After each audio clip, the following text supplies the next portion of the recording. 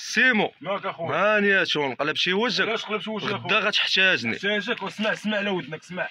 الذي خلقني فهو يهدين والذي هو يطعمني ويسقين.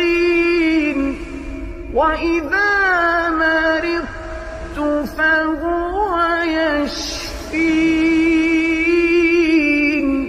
والذي يميتني ثم يحيين والذي